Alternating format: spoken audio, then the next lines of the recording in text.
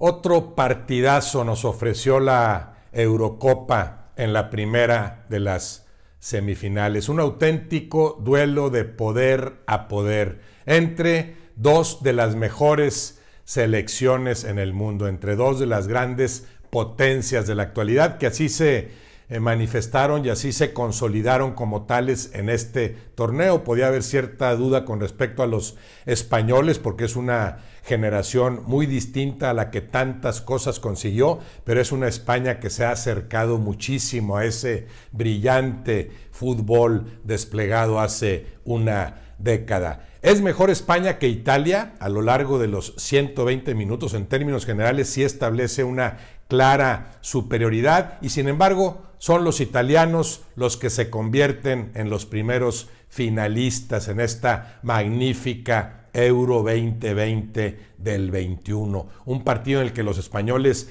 hicieron valer, hicieron prevalecer esa enorme capacidad que tienen para elaborar su juego, para asumir la iniciativa, tener siempre el balón más tiempo que el adversario. Una Italia que en algunos momentos logró hacer pesar a sus individualidades de mucho mayor jerarquía, pero en cuanto al juego colectivo fueron mejores los españoles, se ponen arriba a los italianos con el golazo de Chiesa, eh, Morata que había ingresado en el segundo tiempo consigue el gol del empate cuando más claramente ejercía su hegemonía el conjunto español, que sigue siendo mejor después de ese empate a uno, es mejor en los 30 minutos de prórroga, aunque ya no con el mismo dinamismo, fue un partido durísimo en el que evidentemente salieron muy desgastados, sendos contendientes, pero fue un partidazo acorde con lo que nos ha ofrecido esta Eurocopa. Los italianos son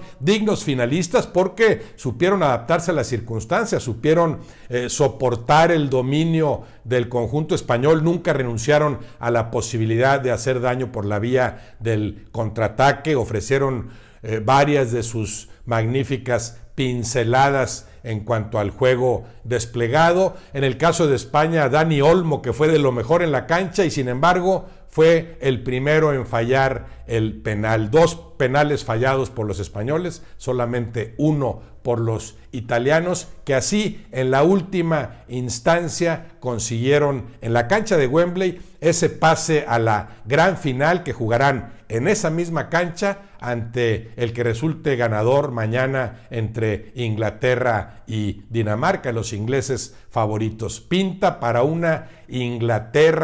Inglaterra-Italia, aunque queda por verse lo que opinen los sorprendentes eh, daneses, pero pinta para una Inglaterra-Italia que podría servir como estupendo colofón a lo que ha sido un torneo redondo, plagado de grandes partidos, plagado de partidazos como este que acaban de ofrecer italianos y españoles.